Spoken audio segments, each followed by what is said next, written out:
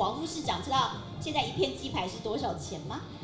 你要看是哪个区物价上涨，副市长黄珊珊很有感。为了刺激消费，台北市推出新一波振兴计划，规划产业振兴、商圈振兴。至于熊好券二点零，更加入农好券，五亿预算要刺激消费。记者会释出政策利多，柯文哲也做球给黄珊珊。七大方案，那每一项的细节是哪些东西？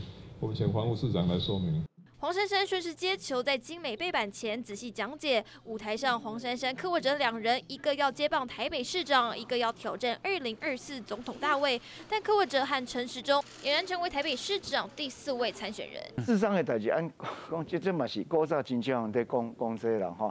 我身边也表达一下，这智商是囡仔的代志，囡仔人靠在讲黑啊。陈时中前一天接受电视台专访，将矛头对准柯文哲，俨然成为台北市长第四位候选。选人，不管在台北或新竹哦，就全部猛攻柯文哲。那我还会再跟陈佩琪讲说，哎，你不要随便上钩，我都忘记忘记先跟你提醒了，你们就自己去玩吧，不理你。